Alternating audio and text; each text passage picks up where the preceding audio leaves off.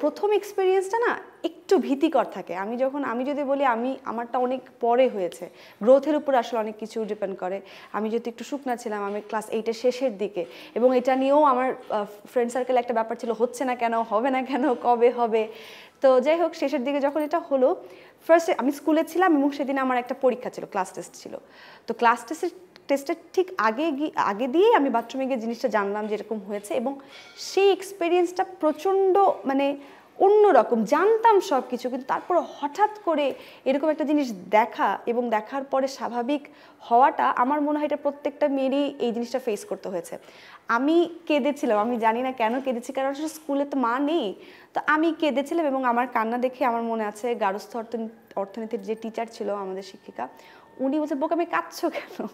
তো উনি পরে তখন একজন আয়াকে দিয়ে আমার বাসায় পাঠিয়ে দিয়েছিল এবং আমি বাসায় চলে গিয়েছিলাম।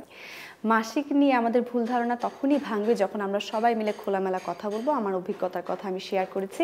আপনারাও আপনাদের অভিজ্ঞতার কথাটা শেয়ার করুন ফেসবুক পেজে হতে পারে আপনার কথাটি শুনে একটি ছোট্ট মেয়ের ভুল ধারণা ভেঙে যাবে এবং সেও খোলামেলাভাবে কথা বলতে, মাসিক নিয়ে আলোচনা করতে আগ্রহী হবে।